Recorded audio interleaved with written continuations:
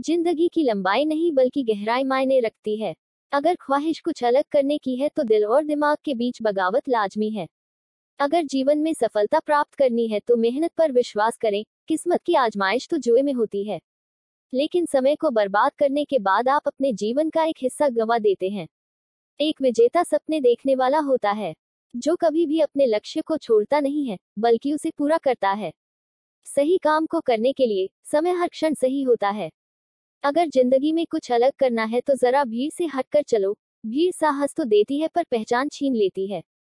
कहते हैं जिसने भी खुद को खर्च किया है, दुनिया ने उसी को गूगल पर सर्च किया है हम हमारे जीवन में प्रत्येक समय किसी न किसी उम्मीद के सहारे ही तो अपने लक्ष्य की ओर अपने कदम बढ़ाते हैं।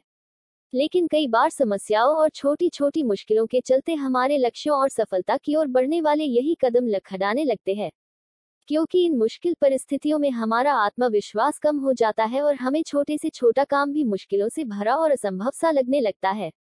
यही वो समय होता है जब हमें एक ऐसे प्रेरणा स्रोत की आवश्यकता होती है, जो हमारे भीतर प्रेरणा की ऐसी ऊर्जा का निरंतर संचार कर दे कि हम अपने लक्ष्यों को हासिल किए बगैर जीवन में कभी भी हार ही नहीं माने।